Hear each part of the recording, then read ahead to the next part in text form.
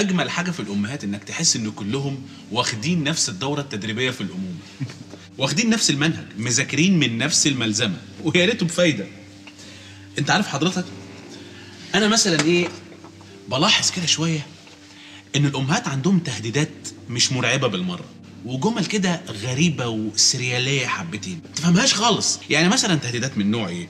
تقول لك آه، هقوم لك. ولد.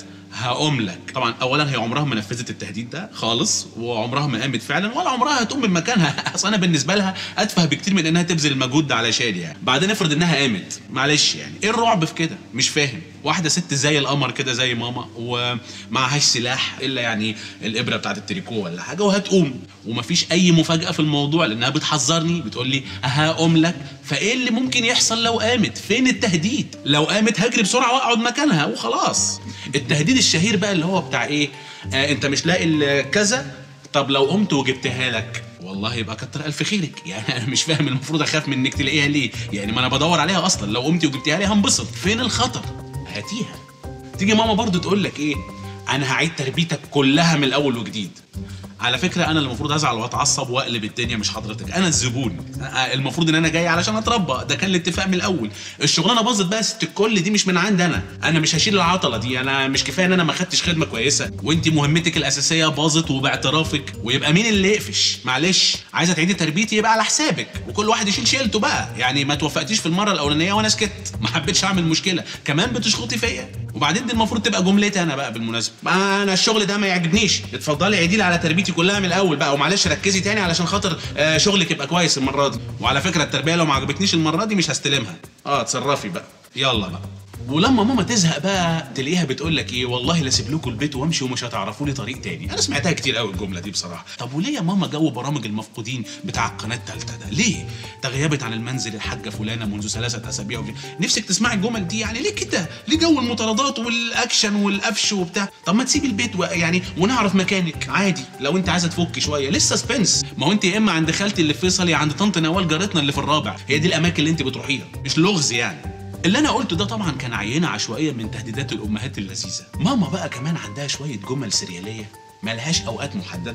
ودي بقى أنت ما بتفهمش إيه المطلوب منك أو إيه المقصود بالكلام. شوية طلاسم كده بس من ماما بتبقى الطلاسم دي زي السكر. تقول لك أنت فاكر البيت ده بنسيون؟ تاكل وتشرب وتنام؟ آه الحقيقة أيوه. أنا أنا فاكر إن هي دي وظيفة البيوت الأساسية. دي معلوماتي إن آكل فيه وأشرب وأنام. أنا مش جاي أستخرج فحم ولا حضرتك كنت جايباني أغير الديكور. أنا جاي آكل وأشرب وأنام.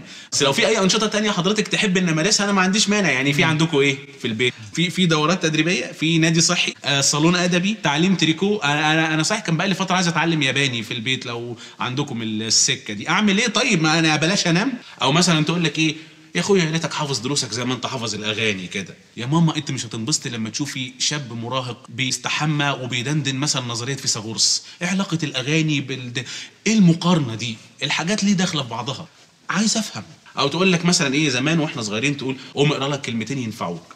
بص يا ماما أعظم كلمتين في الوجود مهما كانوا لا يمكن ينفعوا أي حد بأي شكل من الأشكال. كلمتين هيعملوا إيه؟ وبعدين أنهي كلمتين؟ طب ما تكتري العدد شوية يعني خلي إيدك فرطة. قولي لي خد 12 كلمة 47 كلمة مش كلمتين. طب تختار لي كلمتين على الأقل يعني ما تسيبنيش كده.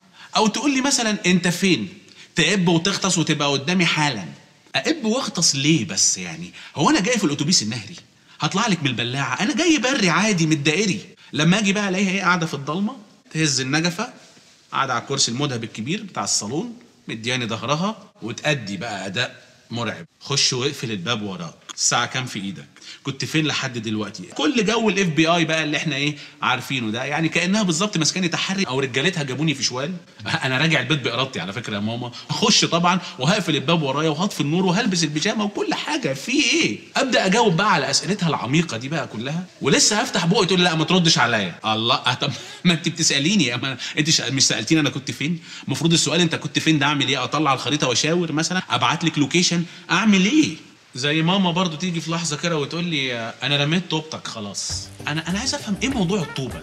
ولما هي طوبتي أنا بتعمل إيه عند حضرتك؟ يعني هل شايلها في النيش مثلا لغاية ما تتم 21 سنة؟ طوبتي أنا حر ما حدش ياخدها ما حدش يرميها. بعدين أنا مأمنك عليها تروحي ترميها كده في ساعة غضب من غير ما تاخدي رايي طب رميتيها فين طيب؟ طب أنا أنا هروح أجيبها وأشيلها بمعرفتي خلاص. كده خ- يعني كل اللي بينا انتهى. علاقتنا باظت اتدمرت هنقطع الجوابات ونرمي الطوب.